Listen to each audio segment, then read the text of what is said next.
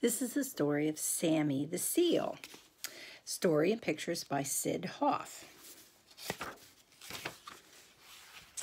It was feeding time at the zoo. All the animals were getting their food. The monkeys ate their bananas. The bears ate their honey. And then it was time for the seals to be fed. Mr. Johnson took them fish.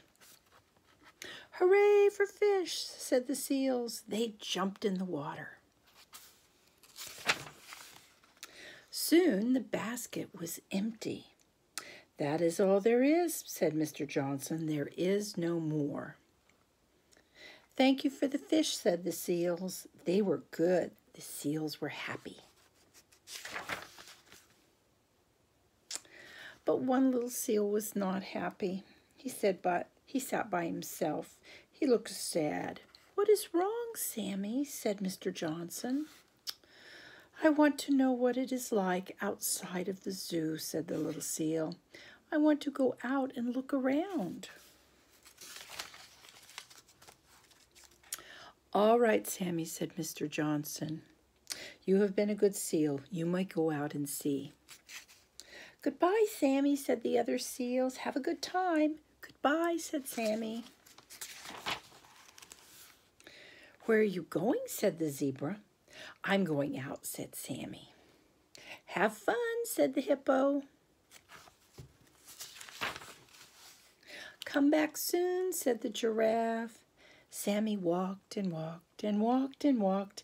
He did not know what to look at first.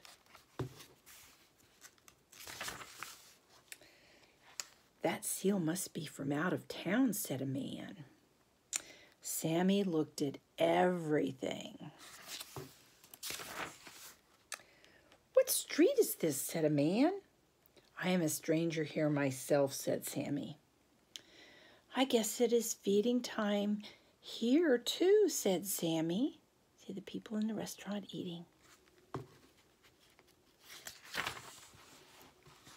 Oh, that is a lovely fur coat, said lady. Where did you get it? I was born with it, said Sammy. I wish I could find some water. I am hot. I want to go swimming, said Sammy.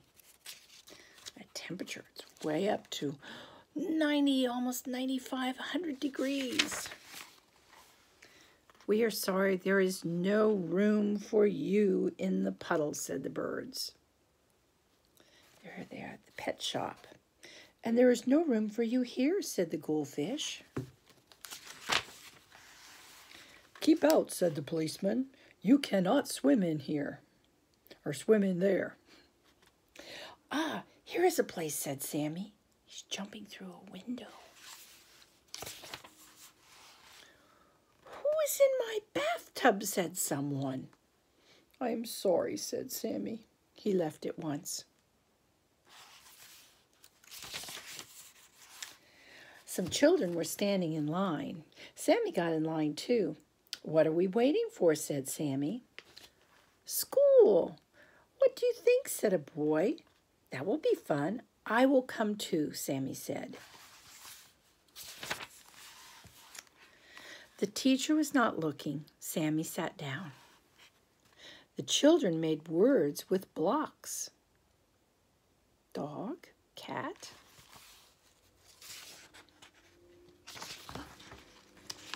I don't want to miss page. There we go. Sammy wished he could spell. I don't think that spells a word, Sammy. All right, children, now we will all sing a song, said the teacher. The children had good voices. That sounds fine, said the teacher, but one of you is barking just like a seal. Is it you, Joey? said the teacher. No, said Joey. Is it you, Helen? said the teacher. No, said Helen. Is it you, Dorothy, Robert, Fred, Joan, or Agnes? No, said the children. Then it must be you, said the teacher.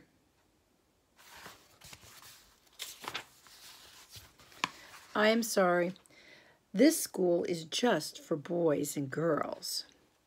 Please let me stay, said Sammy. I will be good. All right, you may stay, said the teacher. She sure changed her mind easy, didn't she? Sammy was happy. He sat at his desk and looked at the teacher. He learned how to read. He's a quick study. He learned how to write. Look, he wrote his name on the board. And now it is time to play, said the teacher. Who wants to play a game? We do, said the children. They threw the ball over the net. The ball must not hit the ground, said Sammy, cried Sammy's team. Somebody catch the ball.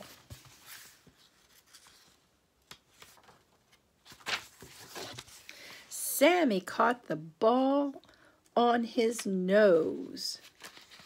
A boy on the other team tried to catch the ball on his nose, too. Boys must catch with their hands, said the teacher. Sammy tried to catch the ball with his flippers. Seals must catch with their noses, said the teacher. Up and down went the ball from one side to the other. At last the teacher blew her whistle. Who wins? said the children. It is even, said the teacher. Everybody was happy. A bell rang. School was over. Will you be here tomorrow? said the children. No, said Sammy. School is fun, but I belong in the zoo. I just wanted to know what it was like outside. Now I have to go back. Goodbye, Sammy, said the children. We will come to see you. Good, said Sammy.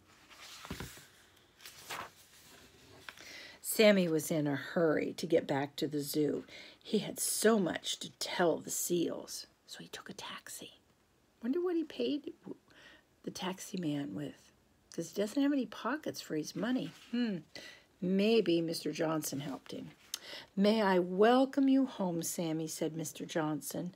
I am glad you are back. You are just in time for dinner. There is no place like home, said Sammy. And that's the end.